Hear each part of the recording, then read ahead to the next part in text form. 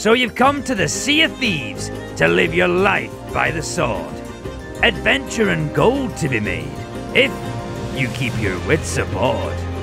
But keep an eye on that horizon, for when you see their mark, The cannons roar, no prisoners taken.